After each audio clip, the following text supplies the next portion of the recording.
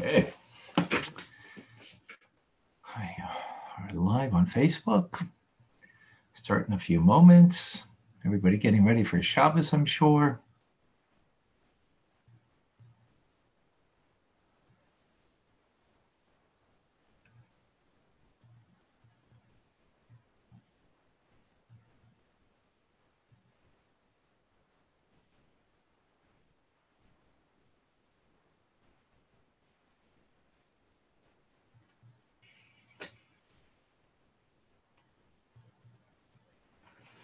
Hmm.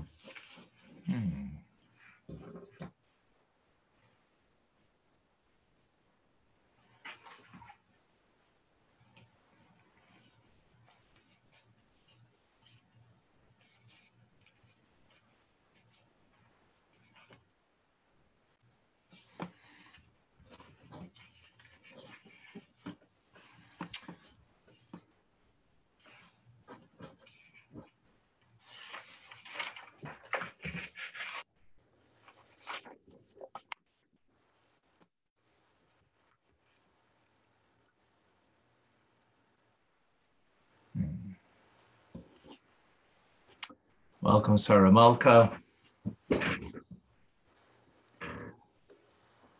All right, folks, uh, we welcome Karen in LA, Elizabeth and Joelle over here in Montreal, uh, Heather in our Connecticut. And we welcome over here Sarah Malka, Shoshana Bina from Virginia, Sarah from North Carolina, Andrew from uh, New Jersey, Morris, and Israel from Montreal. Okay, wonderful. So uh, this week we have a double header, a double portion. Uh, why these two portions are uh, come together, I'm not exactly certain why they're these particular. Although previous uh, earlier in the week, I brought a connection between the two uh, parshias that perhaps will give us some insight. Balak,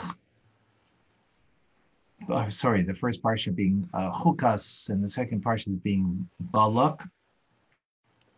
Chukas uh, are the laws that are super rational, the law of the red heifer, things that are beyond us that we have a challenge to understand. And moreover, it's about coming in contact with, with death and transforming from death to life. So it's about transformation. And that's Chukas. Balak is similar. Balak was the Moabite king who hired Bilam to curse the Jews. And of course, as we know, from curses came great blessings. We'll deal with uh, one of the blessings uh, shortly, which is again transformation from curse to blessing. So we have from death to life, we have from curse to blessing. So perhaps that is the the connection, at least the thematic connection between the two parshas, even though in many of the storyline there's a lot of uh, very different thing, different ideas that are brought across. So let us take one of the ideas from Bilam, um, the in his desire to curse the Jews, gives blessings to the Jews. And uh, before going into it, I'd like to give a little story. Actually, it's all part of the story, the, this week's Parsha, and the, the uh, blessing of Bilam. 1968, well, after 19, uh, the, the Six Day War, where uh, Yitzhak Rabin was, uh, had uh, accomplished uh, great um, great miracles on, on behalf of the Jewish people. The greatest miracles when he went down to the Western Wall and he says, I am not a religious man, but as he's walking to the Western Wall that was liberated, he says, But today I am a religious man and I'm feeling very emotional about the upcoming encounter coming to the uh, to the Western Wall. He feels extremely emotional. He was a person that was raised by a uh, very secular family. His parents came from America in 1905. He was born in Jerusalem. A very um, very unlearned in Judaism. After the uh, Six Day War in 1972, he was appointed the ambassador of Israel to America. At that time, the president was, um, what's his name?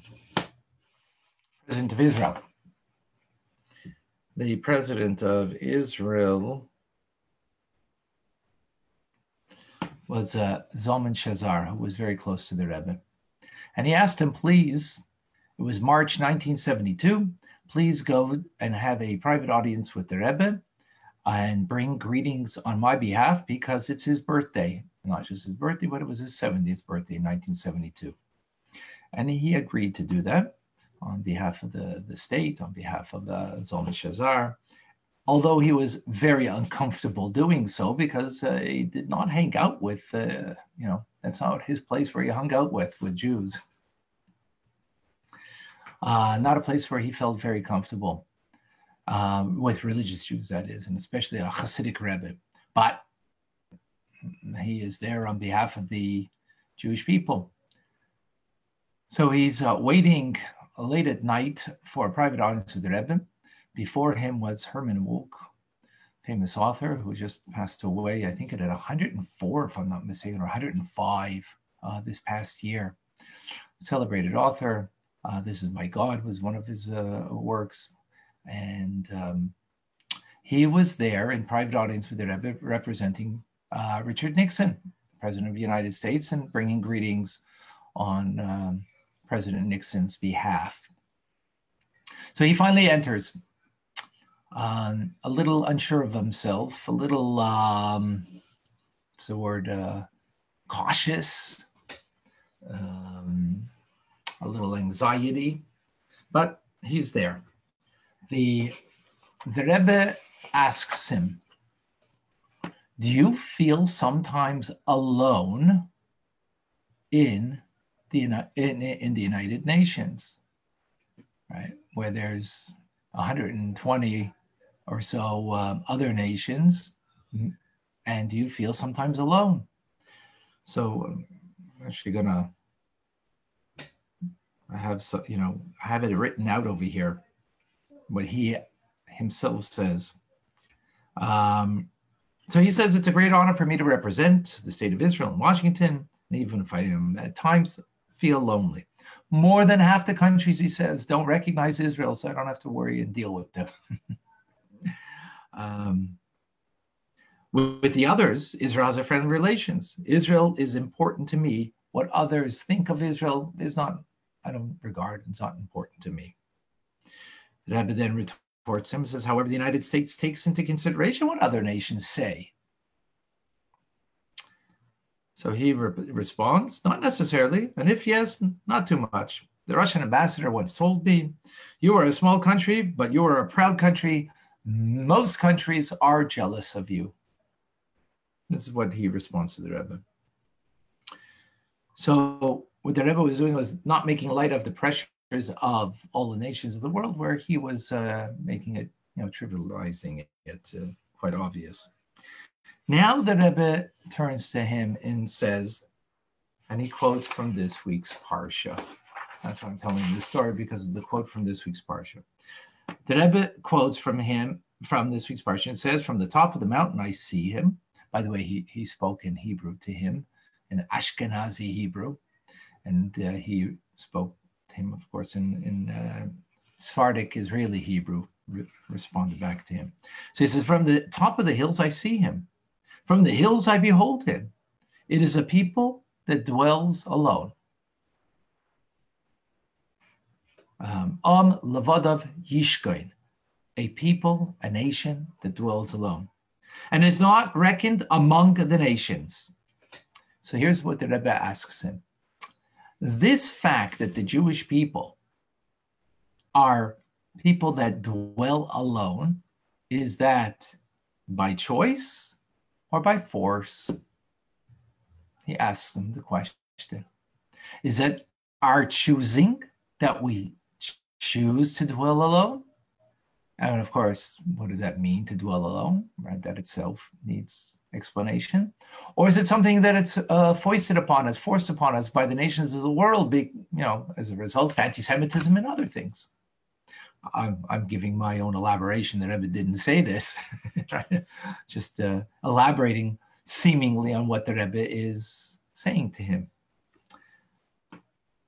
He, again, as I mentioned, was not uh, very learned in, in Torah, Chumash, and uh, the Rebbe didn't even wait for his response, from what I understand, from the way he tells it over, and went right away into a, a long presentation and, ex, and explained that we stand alone, stand apart from other nations, out of choice because of our absolute commitment and faith that we have in our faith, in our history, and in our heritage. And this has been in all times and all conditions, even when we have been without a land, without a nation in, a, in our holy land, and we have been persecuted. We have been the wandering Jew. Nonetheless, we have always held strong to our faith, to our beliefs, and to our way, regardless, is what the Rebbe says.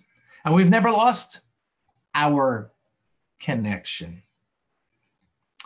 So this that it says that um, Am Levadav Yishkoin, that it's a nation that dwells alone, it's not a curse, but it's a huge blessing. The only time that it becomes a curse, the Rebbe says to him, is that when we don't recognize the uniqueness of the Jewish people, that we have a unique path, a unique heritage, and a unique history. When we won't recognize that, then that will be foisted upon us, that will be forced upon us. Fascinating. Um, so he, he responds, uh, we should, he says, well, we shouldn't be happy with that, that they're forcing that and forcing that upon us. He says, well, the Jewish people are a different nation, different people than all other nations. We're not like other nations. And we need to recognize that. And that was the end of that Yechidus. Fast forward 1976, uh, sorry, that was 1972. After this, uh, the Yom Kippur War, um, uh, after the Yom Kippur War, the um, Golda Meir resigns as Prime Minister of Israel and is succeeded by Yitzhak Rabin. He becomes the, the Prime Minister of Israel. This is 1974. Two years later, the Rebbe by Farbrengen says that he wants to strengthen the land of Israel and he's going to send shluchim, emissaries to the land of Israel, 10 to go to Yerushalayim, 10 to go to Tzfas, and I think 10 that would be in other places uh, throughout Israel. 30. Some of them were uh, uh, young couples that were just married. Some of them were actually uh, still uh, yeshiva students. They weren't married. And the Rebbe wrote a check uh, for $10,000 that I think it was to the Rosh Yeshiva that he gave to the head of the yeshiva who was accompanying these uh, couples and the yeshiva students, the, the shluchim uh, $10,000 check that should be delivered to the Prime Minister of Israel, Yitzhak Rabin, as a gift from the Rebbe from Chabad for Yishuv Aretz for settling the land. For settling the land. Um, and with the words that Rabbi Mentlik, the Rosh Yeshiva, said, the Rebbe is, here's, hands him the check. I says, the Rebbe wants to remind you of your conversation that you had, which was four years earlier. It says, Am Labadav Yishkoin, that the Jewish people are a unique nation that dwell alone. It's a reminder. That's 1976. Fast forward another um, uh, 20, uh, less than 20 years. Um, 17 years later, 1993, Yitzhak Rabin is on the lawn of the White House together with uh, President Clinton, together with um, Arafat. And what does, and we all know the famous shaking of the hands and the Oslo Accords and so on and so forth. What does Yitzhak Rabin say? I don't know if people remember, but he says, We are now no longer a nation that dwells alone.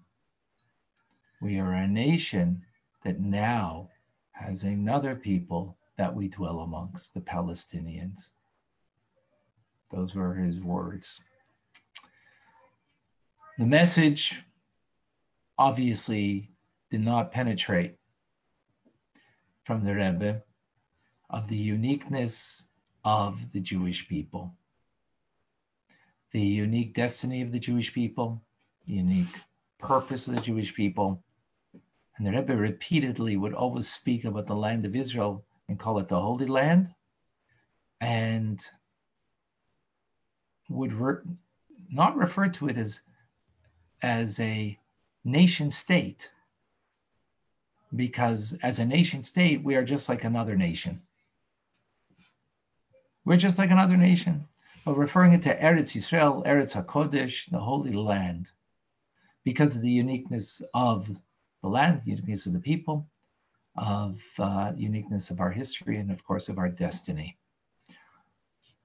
So how, how is it that such a seemingly simple idea that I don't think personally, I mean, you know, maybe that was for the cameras. I don't know. Maybe that was for the world that, you know, you had to say something that would be PC. And I'm not here to make the judgment. But how is it that there that there could be people that wouldn't recognize the uniqueness of the Jewish people How's it that Jews have a difficulty with it, that we have a unique destiny? Bilam in the end, who wants to curse the people, blesses and recognizes this and says as such. So perhaps we can get a little understanding of that from another part of the Torah portion, which is the story of Amalek. Well, actually, it's not called Amalek in the Parshas Chukas in the first Parsha. They didn't call themselves that way because they were defeated 39 years earlier. Um, if you recall, Moshe Rabbeinu, after the Jews come out of Egypt, and they are such a unique nation coming out of slavery, receiving the, uh, getting ready to receive the Torah Mount Sinai, and who dares to start up with him? The Amalekites, Amalek. And um, they're defeated. Actually, it's a, it's a beautiful story. Moshe Rabbeinu stands on the mountain, and his hands, as long as his hands are raised, the Jews def- are defeating the enemy. I guess it took some time, so the hands get tired, and they start to lower, and when the hands lower, the uh, the Jews aren't doing so well. So the Hur and and and Aaron, I think it was, are holding up his hands, his arms. To me, that was just a, a sign what it means a righteous person, on how, as we're coming from Gimel Tammuz, um, a righteous individual is the conduit for godliness and holiness and vitality into this world and how that came through. Literally, it was his hands being raised that gave the vitality and the power to the Jews to defeat the Amalekis. So now comes 39 years later. After their defeat, they're still feeling it.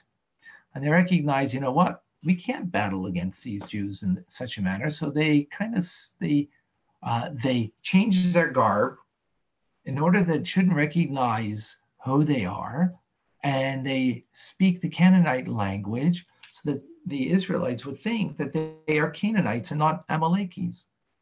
Why did they do that? Because this way, when the Jews pray to God, because just as Moshe Rabbeinu was with his hands up and praying to God, that that's the vitality that is brought into this world to give the Jews the added edge. So likewise, all Jews in their prayer to God Almighty give us the capability of transcending nature, of being able to fight a nation that is more powerful than us and defeating them. We're capable of doing that. So it's our prayers. So they recognize, well, if the Jews don't know who to pray for because we will be disguised, they will think that we are um, Canaanites. So they're going to pray to their God that they should be wreak havoc and destroy the Canaanites. Well, their prayer won't be heard because we're not Canaanites, which is just like them, right? And uh, indeed, uh, the Jews recognizing that there's something a little odd about them. They pray, but not specifically asking for the defeat of their enemy, the Canaanites, but for their enemy, and of course, defeat them. Now, as we know, everything in the Torah is an eternal lesson. The uh, Amalek, the, uh, the nation of Amalek, we have a mitzvah to decimate and destroy. Other nations, we don't have that mitzvah. We're actually today learning in Rambam the idea of battles that a Jewish king wages against nations of the world. Every nation of the world, if uh, we can make peace with them, we need to make peace with them and not, we don't, and, and there's no mitzvah to battle them, except for the Amaleki nation. So there's many explanations of that, but we're going to go now into understanding on a metaphysical level. What is so bad about Amalek? On a personal level, okay, as we've mentioned many times, Torah speaks to us personally, so we need to understand the personal concept of Amalek from within. So the word Amalek is the same gematria as safek, which means doubt. The worst thing that a Jew can have in their personal lives and collectively as a people is self doubt on who we are and what we are. That needs to be eradicated.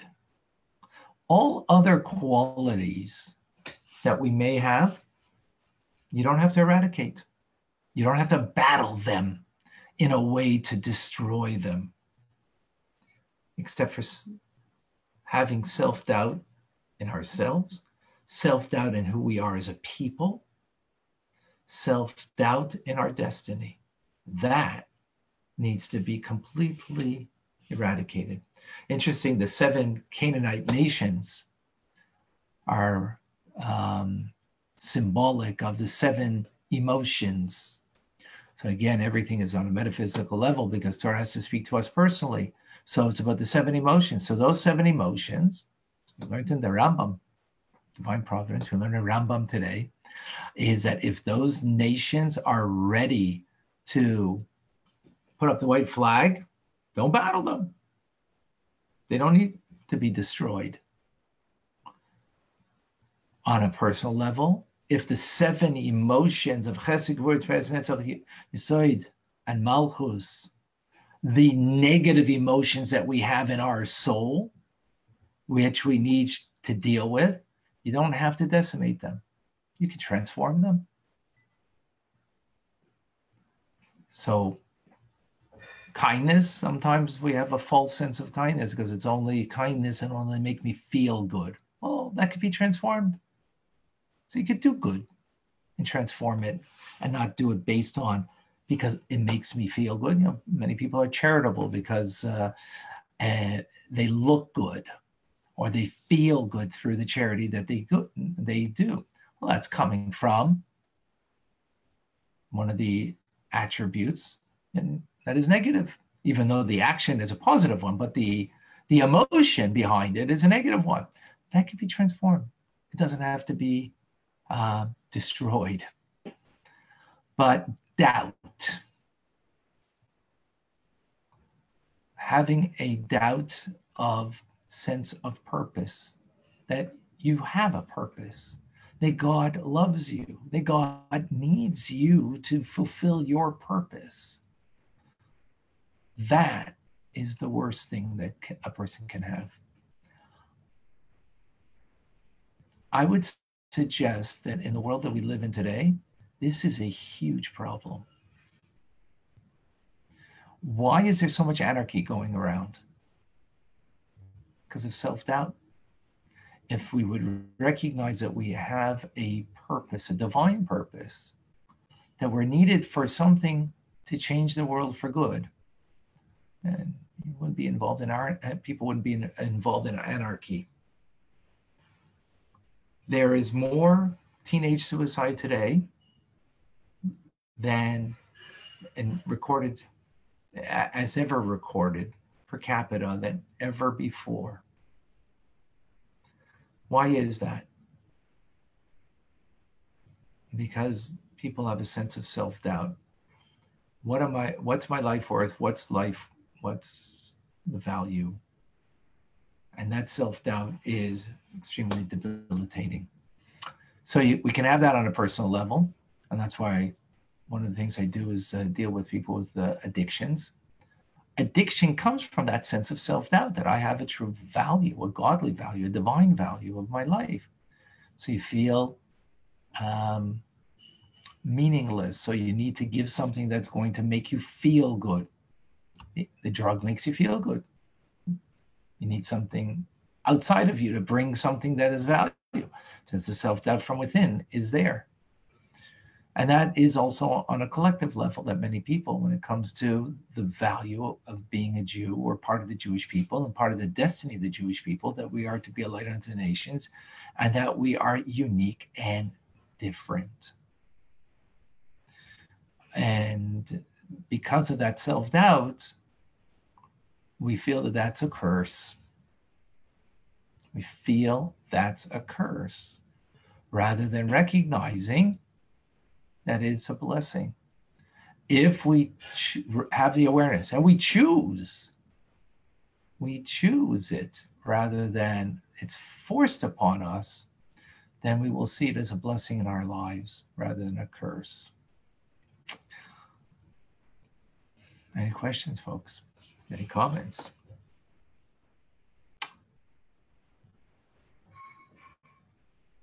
Yes.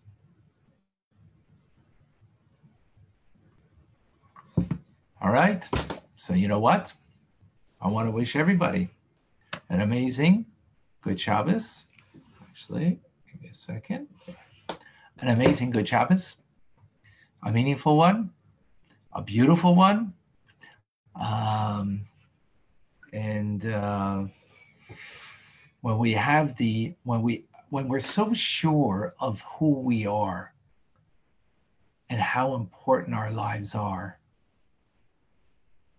and that what I do really matters, oh my gosh, your day's a different day. Life is a different life. And the Shabbos will be a beautiful Shabbos. So wishing everybody good Shabbos. Thank you all for joining. And uh, Sunday night, a reminder, 6.30 for the uh, Torah studies class, right here, same station. Uh, good Shabbos, be well. And thank you all for joining.